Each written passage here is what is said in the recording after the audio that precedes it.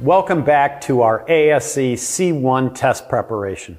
We've been talking previously about communicating with the customer and the aspects of handling the knowledge transfer between them and you. Today we are digging into the most important communication time you will spend with your customer. The customer interview or write-up sets the stage for success or failure for the visit. Please keep in mind the previous steps we have covered. They set this part of the communications process. Once they are complete, you are ready to start on the actual repair write-up. What are the customer's concerns? Listen very carefully here to be sure to document what they are worried about. Next, ask them to clarify the symptoms of the vehicle. Noise, have them attempt to describe it to you. Specific behavior of an accessory or operation of the vehicle. When does it occur? Is it constant or intermittent? Can it be duplicated?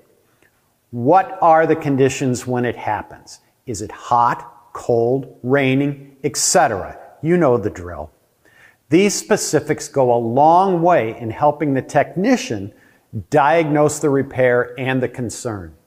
If it's a particularly difficult condition to describe, maybe a test drive with the customer in order to specifically identify the condition.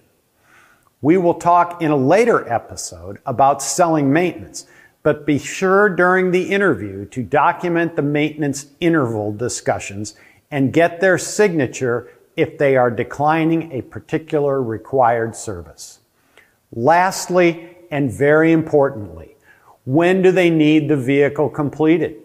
This can make or break a service visit. Get the expectations in place for the projected time of repair. There should be no surprises here if the expectations are set properly.